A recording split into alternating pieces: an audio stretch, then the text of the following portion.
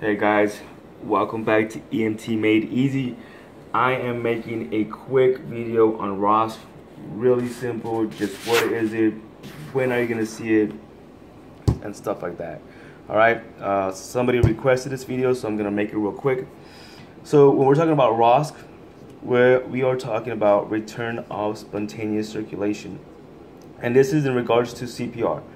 So if your patient goes into cardiac arrest, so it means the heart is no longer beating, your patient is in cardiac arrest, right? The heart's not, the, the electricity is it's all jacked up pretty much to keep it simple. So you're doing CPR. So if you're doing CPR, that means the heart's not beat, beating or pumping. Therefore, blood is not circulating, so circulating throughout the body. So you have no heartbeat, right? No heartbeat at all. So after you've been doing CPR for a while, compressions, breathing, compressions, breathing, maybe you shock the guy a few times, uh, the patient gets a pulse back. All right.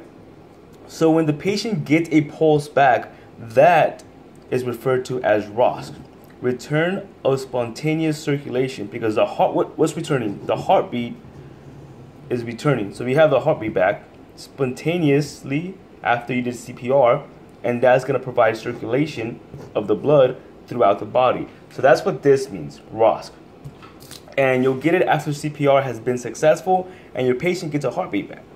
So, return of a pulse. So, what do you want to do for this patient after they come back? From an EMT point of view, all you really can do, honestly, is provide O2 and just go fast. Get them to where they have to go. So, as far as oxygenation, we want to monitor the O2 sat and keep it between 94 and 95%. That's optimal for your patient. Do not jack them up to 100 percent because we're not sure how high we're going up above 100 if you get them there.